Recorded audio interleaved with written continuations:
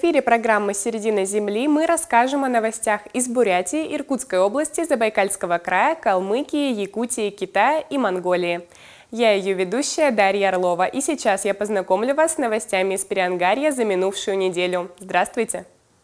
Иркутский покоритель глубины. Фридайвер Марк Кисурин погрузился на 71 метр во Франции. На соревнованиях он не взял призовое место, но показал достойный результат. Мы пообщались со спортсменом лично. Подробности расскажет наш корреспондент. В воде он черпает вдохновение и нашел свое предназначение. Марк Кисурин пять лет занимается фридайвингом. Признается, для этого нужны регулярные тренировки, выносливость и развитые легкие. Но главное – желание. Марк, почему начали заниматься фридайвингом? Ну, этому целый ряд причин. Ну, во-первых, я всю жизнь плаванием занимался и с водой всегда как бы, дружу.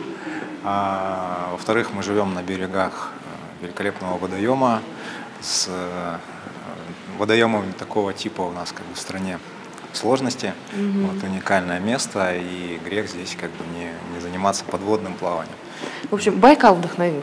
Да, в первую очередь э, место, местонахождение, вот, а во вторую просто вот интерес к подводному миру, взаимодействию с водой. В этом году Марк пытался покорить 33-й чемпионат мира по фридайвингу по правилам Аида Интернешнл. Соревнования прошли на острове Корсике. Мужчина погрузился на глубину 71 метр. Температура воды была после шторма всего 14 градусов. Хотя, говорит Марк, для сибиряка это привычно. Я впервые участвовал в международных соревнованиях. Mm -hmm. То есть ну, на отечественных соревнованиях я участвую регулярно, езжу в разные места, мы ныряли много где с Федерацией фридайвинга России.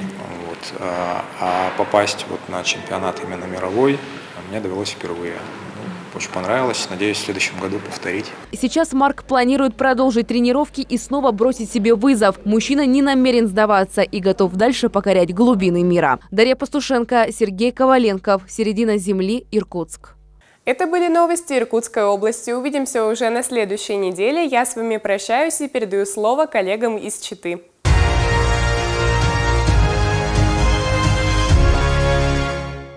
Спасибо, коллеги. Приветствуем зрителей информационной программы «Середина земли» в студии телеканала РТК Забайкалье. Вера Садулина. Сегодня мы расскажем вам о событиях, произошедших в нашем регионе за минувшую неделю. Сочетание красоты и силы воли в Чите завершились всероссийские соревнования по художественной гимнастике «Золото Удакана». Но даже больше, чем медали, юные гимнастки из 24 субъектов страны ждали от этого кубка встречи с чемпионкой России и Европы Лалой Крамаренко. Как это было, расскажем далее.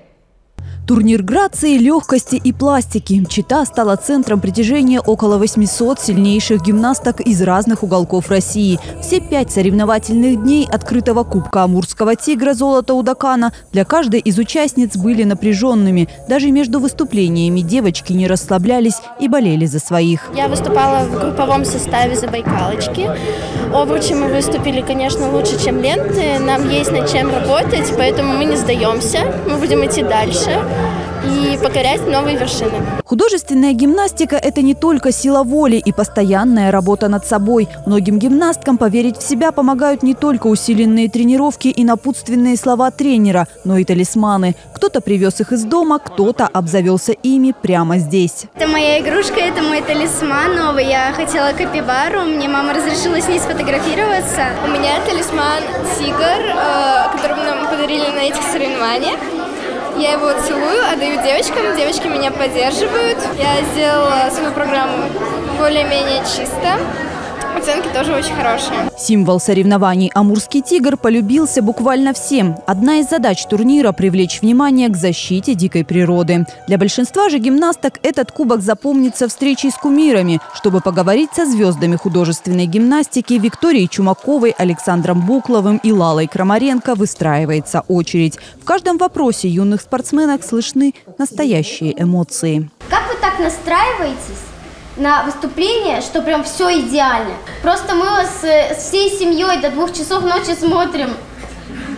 Ваше каждое движение болеет. У меня сердце дрожит, когда я на вас смотрю. Своей главной мотивацией в спорте Лала Крамаренко назвала внимание девочек к ее выступлениям. Поговорили просто и без преград. О мечтах и планах, о радостях и силе воли. Не обошли стороной вопрос участия нашей страны в Олимпийских играх. В этом аспекте соревнования золота у Дакана – это тоже шаг на пути к развитию спорта в России. В это непростое время это очень важно э, – выдвигать художественную гимнастику на новый уровень. И я благодарна всем людям, которые тоже организовали этот турнир. Поэтому это огромная честь. Я посмотрела на детишек, есть много хороших, много классных элементов, которые они делают. Поэтому дай бог, чтобы это все развивалось. Ну, соревнования-то окей, нормально? Соревнования вообще огонь. Супер. Просто. Такие соревнования и искренние встречи с кумирами важны для нашей страны. Они помогают зажигать не только новые имена, но и сердца юных гимнасток любовью к спорту. Екатерина Пешкова, Антон Носов, «Середина земли», Забайкальский край. Отзовется в душе каждого, кто хоть раз бывал на Байкале. Фильм «Лето на память» забайкальского режиссера Бояра Бородиева выходит на экраны кинотеатров Иркутска. Одну из главных ролей в нем сыграл российский актер Кирилл Кяро. О чем эта история и ждать ли ее в Чите, узнавала Екатерина Пешкова. Лицо миллиметр вправо. Вот, все идеально. И начали.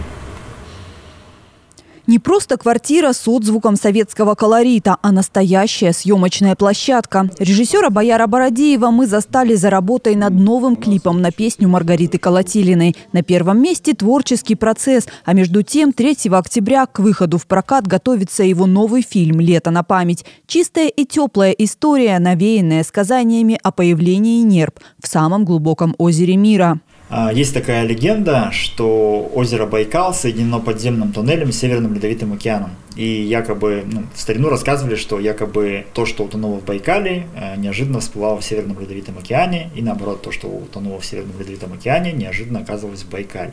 Мы когда эту историю узнали, легенду эту прочитали, нам показалось это интересным, и мы решили попробовать, что если э, вдруг кто-то или что-то утонет в Северном Ледовитом океане и какой это эффект вызовет, если это всплывет на Байкале.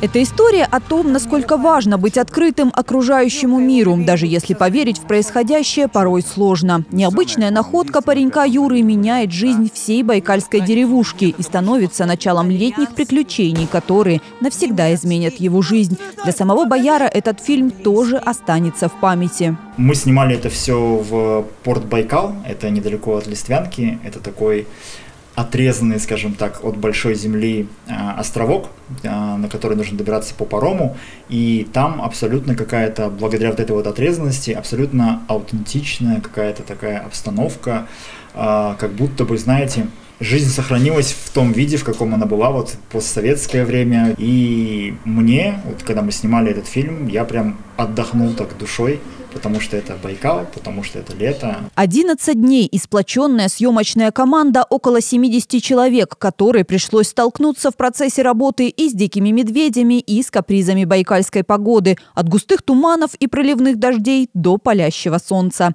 Нередко Бояру самому приходилось примерять на себя ту или иную роль. Фильм получился поистине с местным колоритом. Ты что такое говоришь-то? Чего? Чё? Я не помню, как меня зовут. Прикинь.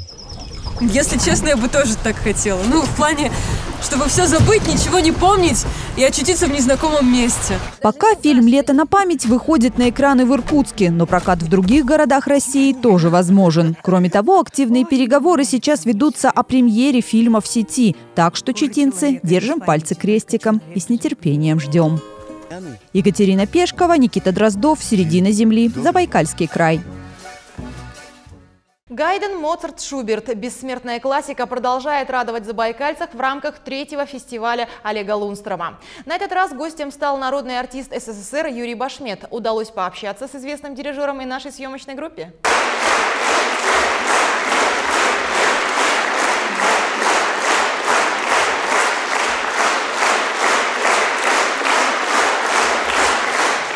Аплодисменты, которым, кажется, просто нет конца.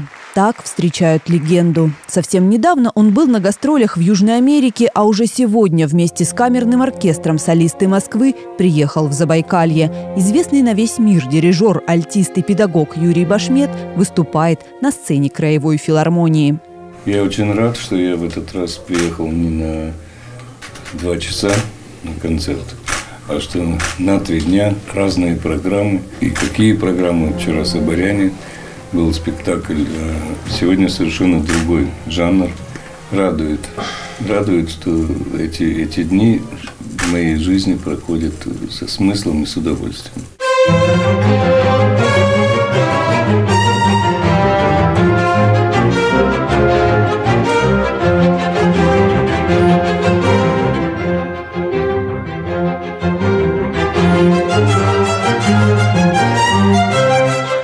Каждом жесте Юрия Башмета видны трепет и бережное отношение к делу своей жизни. Выступать на одной сцене с мастером волнительно даже для художественного руководителя фестиваля Петра Лунстрема.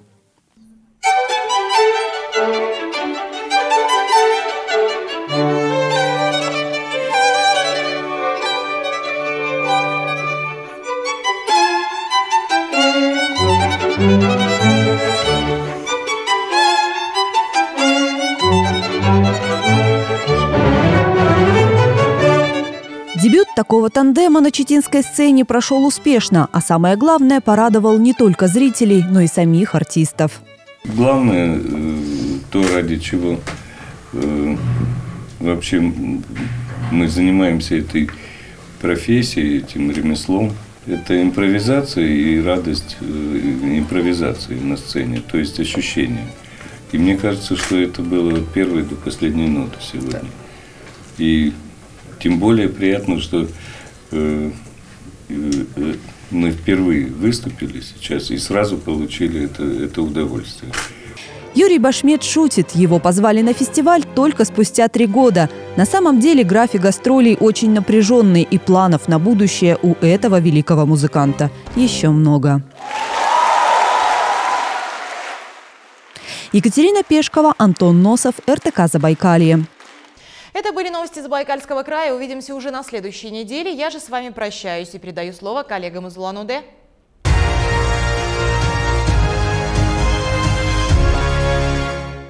Спасибо, коллеги. Приветствуем зрителей программы «Середина земли». В студии телеканала ТВКом Юлия Пермякова. Сегодня мы расскажем вам о событиях, произошедших в Бурятии за минувшую неделю. Комфортабельные номера с теплыми полами, доступная среда для людей с ограниченными возможностями и, конечно, качественный сервис. И все это за пределами столицы республики. Все подробности мы расскажем далее. Мотель «Вечный зов» и туристский информационный центр находятся на федеральной трассе Улан-Удэ, Кяхта, Монголия. В ноябре прошлого года владельцы получили грант национального проекта «Туризм и индустрия гостеприимства». Теперь гостей здесь встречают три современных красивых модуля и здание уютной сервисной службы. Идея реализации такого проекта появилась не случайно. Так как мы находимся на федеральной трассе, то ежедневные ежедневно поток туристов увеличивается. И вот э, к нам в кафе заходят ежедневно, ну, летом особенно, заходят и спрашивают, где можно у вас переночевать, где получить информацию. И здесь у нас уже возникла идея, и мы ее реализовали. Номера рассчитаны на четверых человек. Здесь можно переночевать целой семье. Модули оборудованы теплыми полами, санузлом. Еще тут есть возможность разогреть еду и скипятить воду. Завтрак включен в стоимость, а один из номеров оснащен доступной средой для людей с ограниченными возможностями. Сумма субсидий составила около 4 миллионов 745 тысяч рублей, а сумма проекта почти 7 миллионов 118 тысяч. Рядом с модулями находится туристический туристский информационный центр. Здесь посетители могут приобрести сувениры, знаменитую облепиховую продукцию, купить сим-карту, получить информацию о туристических направлениях, даже принять душ, конечно, перекусить и зарядить мобильный телефон. Сумма субсидий на ТИЦ и установку санитарных модулей составила около 7 миллионов 704 тысяч рублей. Объем собственных вложенных средств примерно 3 миллиона 960 тысяч. Так, благодаря поддержке Министерства туризма Бурятии развивается гостеприимство в нашей республике. В планах у владельцев построить еще и детскую площадку с теплым гаражом. Олеся Цыкина, «Середина земли», Бурятия. Первые аудиокниги на бурятском языке выпустили в Бурятии. Презентация прошла в Национальной библиотеке на 29-м книжном салоне. Какие произведения стали доступны теперь и в аудиопрочтении, мы расскажем в следующем материале. Проект «Голос родного края» был реализован впервые. Он создан для популяризации литературы бурятских авторов с помощью аудиокниг. В частности, среди людей с инвалидностью по зрению. Теперь незрячие и слабовидящие смогут слушать произведения писателей на родном языке. Все считают, что берут книгу, там автор, да, и читает читатель, да. А вот чтобы вот эту книгу посмотреть слепому, да, ее ему ее кто-то должен прочитать. И очень большое дело, кто это делает. В рамках проекта были отобраны три книги «Мой талисман» Сергея Доржиева, «Заповедь родной земли» Галины Базаржаповой и «Заветы матери» Доржо Сультимова. Их озвучили и перевели в формате ЛКФ. Честно говоря, я вообще не ожидал этого, конечно. Я, я даже не знал, что такое может быть. Но, но как-то не думался в этом. Почему? Потому что мы думали, ну, когда-нибудь это, наверное, сделается. И, конечно, когда сюда пришли, и такая радость, я сам себя ставишь вместо слушателя. Это вообще здорово. У меня впечатление, потому что я не представляла, что это работает аудиокниги. Такая она широкомасштабная и вообще чуть ли не глобальная столько народу было задействовано. Дикторами проекта стали заслуженный артист России Даржи Сультимов и народная артистка Бурятии Туяна Бальжанова. Аудиокниги уже доступны для широкой аудитории. Их можно скачать в Центре обслуживания граждан с ограничениями жизнедеятельности при Национальной библиотеке Бурятии. Андрей Слепнев, «Середина земли», Бурятия. Первые комиксы на бурятском языке издали в Улан-Удэ. Чтобы прочесть их, нужен только телефон. Необычный формат подкупает молодежь. На это и был расчет. По данным переписи населения, бурятским владеет лишь каждый пятый житель нашей республики. Так, цифровые технологии помогают изучать национальную культуру.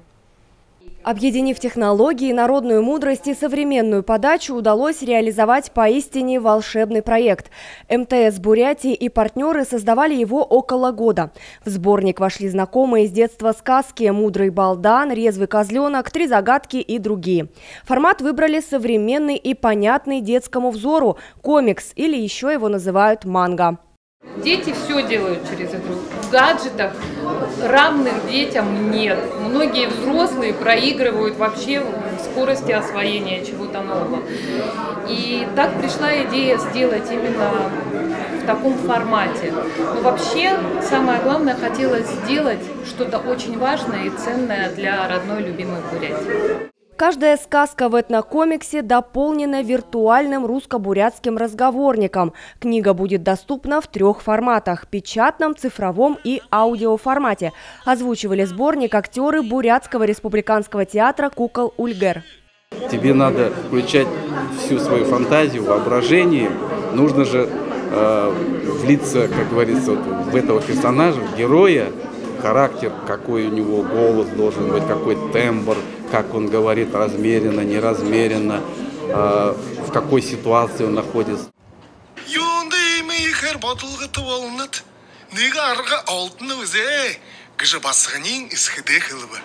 Партнером проекта выступила российская социальная сеть «Луки», которая разработала нейроаватар специально для комикса «Ожившие легенды Бурятии». Встроенная в приложение нейросеть позволит увидеть себя в образе героя народных легенд. Для этого необходимо загрузить портретную фотографию в раздел «Нейроаватары» и создать свой виртуальный прототип. Книга, которая э, поступает в Национальную библиотеку и библиотеки Республики Бурятия, занимает самое-самое достойное место. И как я сегодня уже говорила, мы рады э, любому книжному изданию, которое приходит к нам в библиотеку. В нашей республике 434 библиотеки, и компания МТС э, сегодня подарила каждой библиотеке книгу. Качестве меры поддержки изучения национального языка и литературы Бурятии в культурные и образовательные учреждения республики передадут тираж сборника. Презентация этнокомикса прошла в рамках 19-го книжного салона в Национальной библиотеке Бурятии. Гости салона и посетители учреждения могут познакомиться с книгой на интерактивном стенде. Олеся Цыкина, «Середина земли», Бурятия. Такие события произошли в Бурятии на этой неделе, ну а мы передаем слово коллегам из Элисты.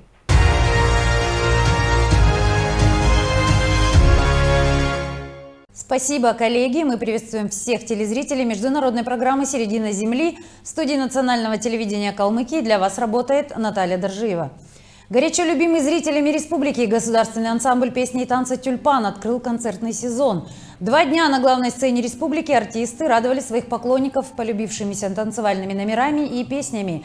Коллектив представил не только танцы Золотого фонда, но и номера современных хореографов. С первых дней коллектив выступал активным пропагандистом национального музыкального искусства. Репертуар коллектива – это своеобразная художественная энциклопедия Калмыкии. Открытие сезона для нас это большой праздник. Можно сказать, что открыли мы сезон еще месяц Ранее э, в Бурятии, в Монголии мы уже начали после отпуска, э, провели вот в Монголии и в Бурятии два аншлага в Бурятии, сегодня два аншлага в Элисте спустя месяц. Мы, конечно же, очень рады увидеть нашего любимого зрителя и, конечно же, мы приготовили новые красивые концертные номера. Как провести долгожданное тепло в садовые дома? Такой вопрос обсуждали в региональном Росреестре с участием самих садоводов, представителей профильных ведомств и газовой компании. Не обошлось без горячих споров и острых вопросов. Подробности у моей коллеги Донары Бимбиновой в следующем сюжете. С апреля этого года садовые товарищества включены в программу социальной газификации. Это значит, что газовую трубу теперь должны бесплатно проводить границам садовых участков. Для реализации программы в Калмыкии ведется подготовительная работа. В целях контроля и координации действий региональный Росреестр регулярно проводит встречи со всеми участниками процесса газификации садовых товариществ. На этом совещании было принято решение, э, чтобы один или два пилотных СНТ провести по алгоритму, который предложил э, «Газпром» газораспределения листа, и э, отработать уже механизм для газификации остальных СНТ. При этом, конечно, все, кто э, должен был быть причастен, активно включается в работу. Да, администрация города будет проводить инвентаризацию земельных участков совместно с жителями этих СНТ. Ну, я уверен, что через месяц э, мы соберемся, и у нас будут э, уже какие-то положительные результаты по движению вперед по газификации СНТ. В Калмыкии многие садоводы живут на дачах не только летом, но и круглый год. И вопрос газификации этих домов стоит для них достаточно остро. С письмами и просьбами они неоднократно обращались во все инстанции. Сегодня, отвечая на острые вопросы собравшихся, исполнительный директор «Газпром» газораспределения Элиста успокаивает дачников. Он предложил выбрать в качестве пилота первые товарищества, чтобы отработать на них алгоритм газификации. На сегодняшний день э, возникает ряд вопросов, по которым э, мы э, вот уже не первый раз собираемся в нашем Росреестре и эти вопросы обсуждаем совместно с жителями нашей республики и жителями, которые проживают непосредственно на территориях садоводческих товариществ. Вот. Эта работа очень плотно ведется. На сегодняшний день есть ряд решений, по которым мы рассчитываем на своевременная реализация тех поручений, тех инициатив, которые были озвучены Владимиром Владимировичем Путиным по газификации садоводческих товариществ. Как признаются сами дачники, отапливать дома зимой приходится дровами и углем. Есть, конечно, и те, кто делает это с помощью электронагревателей, но такой способ сильно бьет по семейному бюджету, поэтому мало кому доступен. И в таких условиях люди живут не один десяток лет. Живу я на даче уже порядка 15 лет. А занимаемся дачами мы 40 лет. У нас участок 40 лет. Э, как э, жилой дом мы оформили 12 лет назад. И вот э, пришла новость к нам, что до газификации СНТ, документы все, которые с нас потребуют, и подадим, вот как сейчас на собрании мы решили, на совещании пилотные, это геолог попал и тополиная роща. И мы документы соберем все в срочном порядке, проработаем с земельным, земельной службой мэрии, эти документы уточним и индивидуально подадим на газификацию. Проживает нас с 2013 года. Э, живем там я и мои дети проживаем. Э, о газе, конечно же, и не мечтали в будущем, но Конечно, хорошо, что сейчас у нас есть этот газ, мы будем довольны, что нас проведут, уже легче будет жить, как говорится. Но то, что будет газ, это очень даже хорошо для всех нас, кто там проживает. Проживает у нас там очень много, тоже есть многодетные по соседству, есть с маленькими детьми. Конечно, было бы легче. В основном некоторые есть сейчас, которые отапливаются светом, но это затратно. Это от 1015 выходит в месяц. Так что газификация была бы для нас самой лучшей. Следующая встреча запланирована через месяц. За этот период мэрия должна завершить инвентаризацию садовых товарищ, а газовая компания изучить все возможности подключения садовых товарищ к долгожданному газу. Данара Бимбинова, «Середина земли», Калмыкия. Это все, о чем мы вам успели рассказать, и сейчас мы переходим к новостям из Якутии.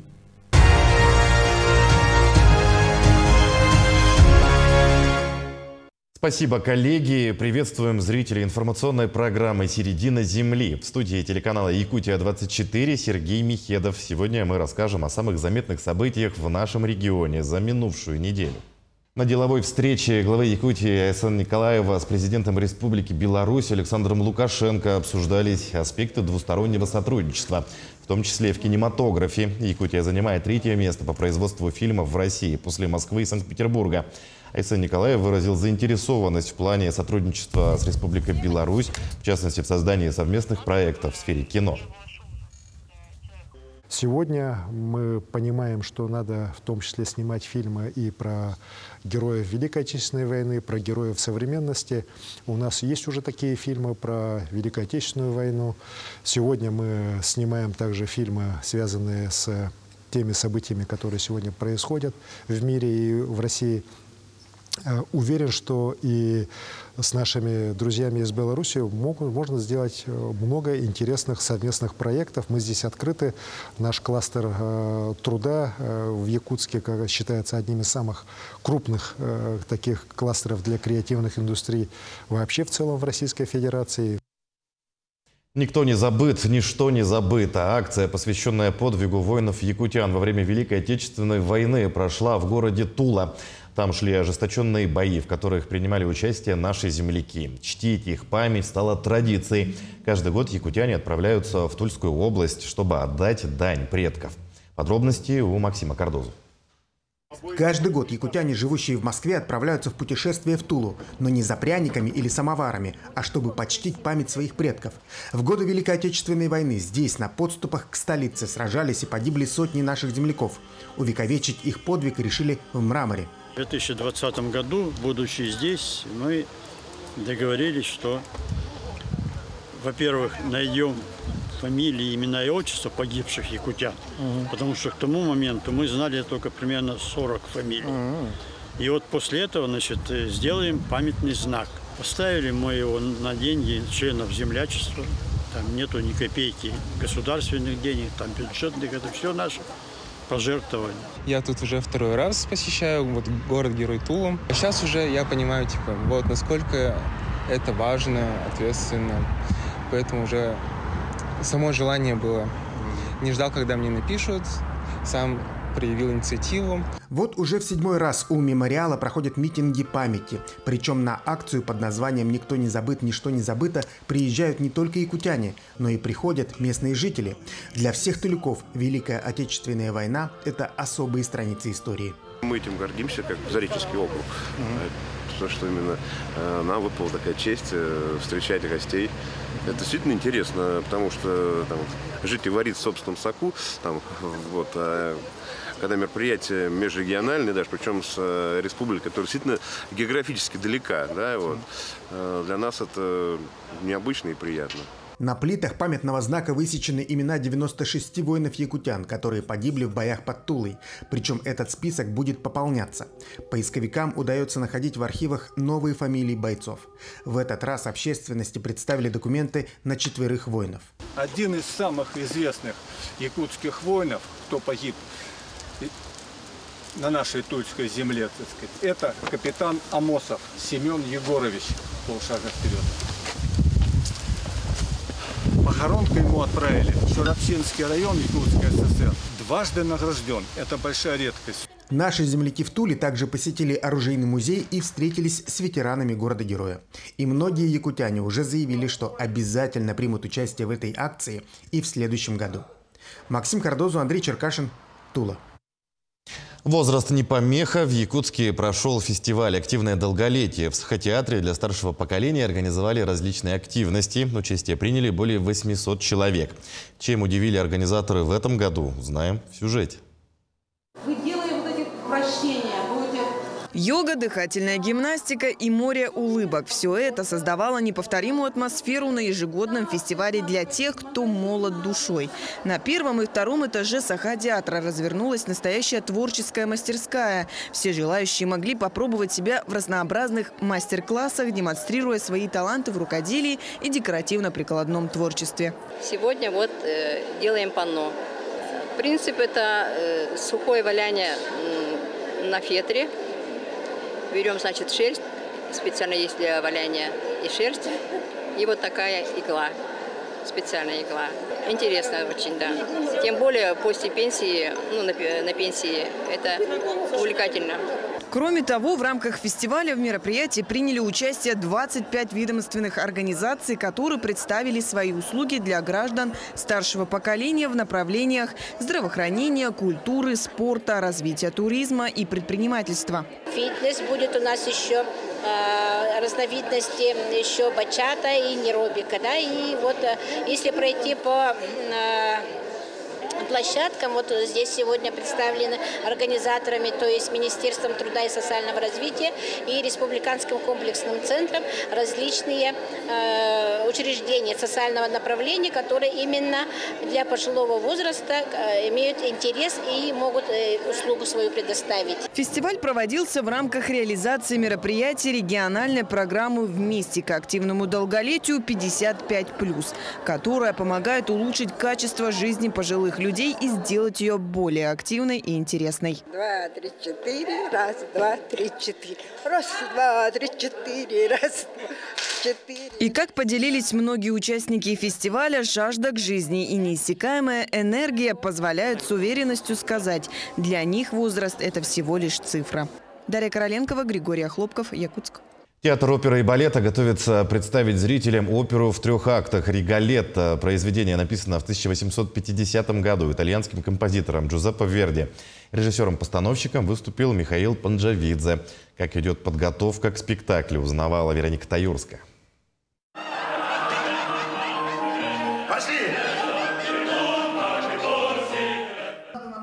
Опера, рассказывающая историю о трагической судьбе Риголетто, возвращается на сцену. Жизнь придворного шута превращается в настоящий кошмар после того, как он становится жертвой рока. Зрителям предстоит вместе с героями испытать чувство страдания, любви и предательства. Изначально была опера автором Джузеппе Верди, композитором была написана э, либретто э, Франческо Мария Пьяви. Было название «Маледетто», «Маледиционе». Это э, в переводе с итальянского э, «проклятие».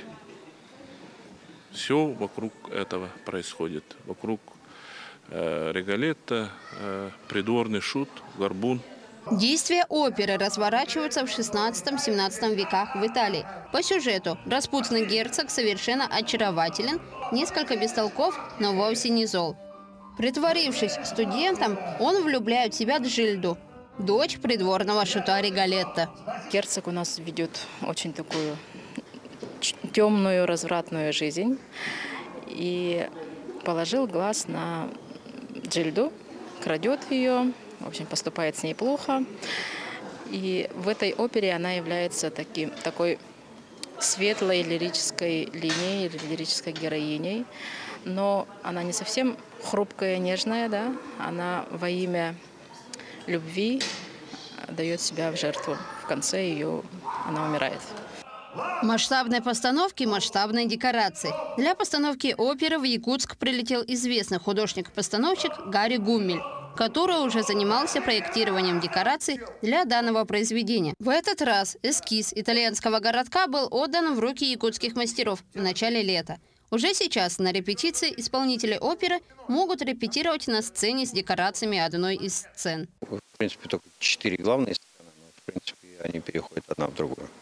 То есть то, что у нас подвижные башни, то, что у нас подвижный круг, то есть оно одно в другое переходит, и установка идет. Ну, в принципе, четыре больших сцены. То есть они все взаимосвязаны? Конечно. Оперу «Регалета» в постановке Михаила Панджавицы после долгого перерыва можно посмотреть 5 и 6 октября на сцене театра оперы и балета. Вероника Таюрская, Нюргун Старостин, Якутск. Такими были наиболее интересные темы недели на телеканале «Якутия-24». Ну а мы передаем слово международному блоку новостей.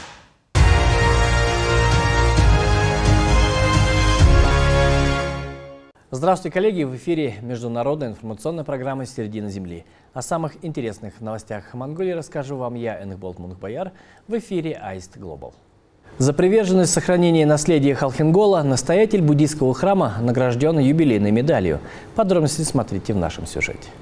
Настоятель буддийского монастыря Гарма Карджит Урджин Перинлайлин Хит Тавасамбуги Тавансахан награжден юбилейной медалью к 85-летию победы на Халхин-Голе. Священнослужитель долгие годы ведет активную работу по укреплению дружественных отношений России и Монголии. Он направлял средства на возведение памятника героям на полях сражений. Но нам очень сегодня приятно было вручить памятную медаль, выпущенную специально к 85-летию победы советских и монгольских войск на реке Халхин-Гол, уважаемому ламе Тайван Сайхану. А, вот эту памятную медаль мы вручаем людям, которые ну, что-то особенное сделали или выступали вот в связи с этим юбилеем. Хотел бы выразить глубокую благодарность уважаемому российскому народу. Желаю дальнейших успехов и процветающего развития российскому сообществу. Здоровья всем, а также светлых и благополучных дней впереди. Лама активно занимается благотворительностью, выступал с лекциями в Японии и Таиланде, посещал страны Африки, где оказывал помощь больным детям.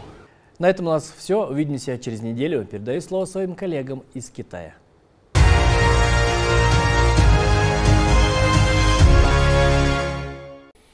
Добрый день, приветствую зрителей международной информационно-аналитической программы «Середина Земли». С вами Сян Джунань из пекинской студии телеканала CGTN. В российском городе Красноярске отпраздновали день рождения китайского мыслителя и философа Конфуция. Мероприятие вызвало большой ажиотаж и праздничный концерт был переполнен жителями города. Марина Мышко, наш собственный корреспондент, побывала на дне рождения.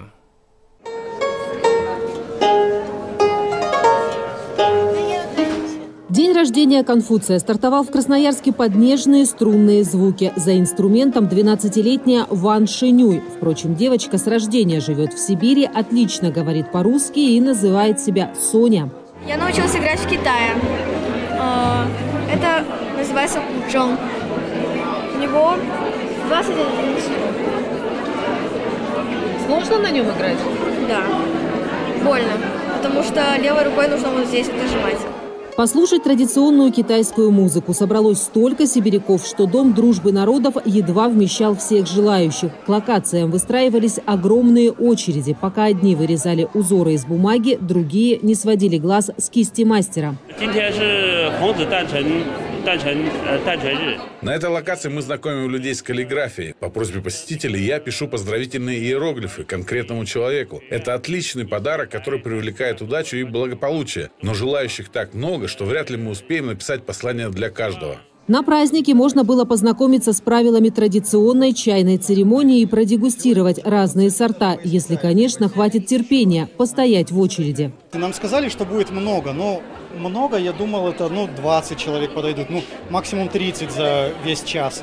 А здесь э, мы просто не то, что не успеваем воду заваривать, мы не успеваем людям чашечки даже туда-сюда отдавать. Эмоции самые прекрасные, воодушевленные, потому что моя задача по жизни – это рассказать об этом, оповестить людей, помочь им в чем-то. Особый восторг – возможность сделать фото с почти настоящим императором. Яркий костюм и нарядный головной убор покорили сибиряков – и такой масштабный праздник объединил сразу три повода. В этом году исполняется 75 лет со дня установления дипломатических отношений между Москвой и Пекином. Кроме этого, проходят года культуры России и Китая.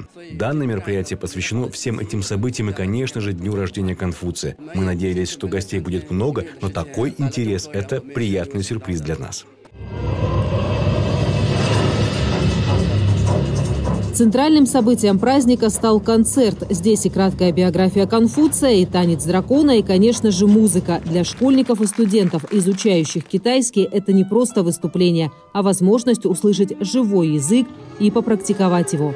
Единственный минус концерта в том, что попасть на него смогли далеко не все желающие. Зрительный зал не смог вместить более 100 человек.